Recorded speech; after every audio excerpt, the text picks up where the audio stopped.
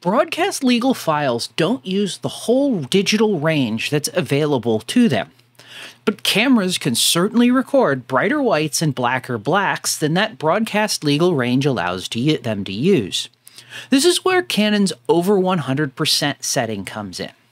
In either BT709 normal or standard gamma modes on your Cinema EOS camera, you can choose between three options.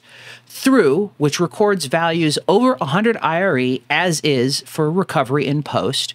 Press, which compresses the entire dynamic range slightly to include those in the legal range.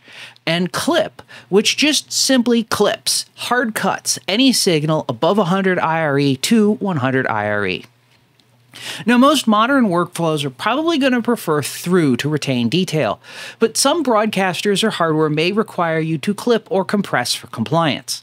The setting is hidden uh, unless you are using the BT709 gamma curve, so check your gamma profile if you are looking for this.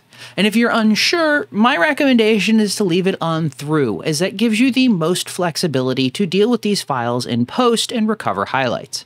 For the whole story on broadcast focus adjustments and Canon's picture style system, check out my linked video.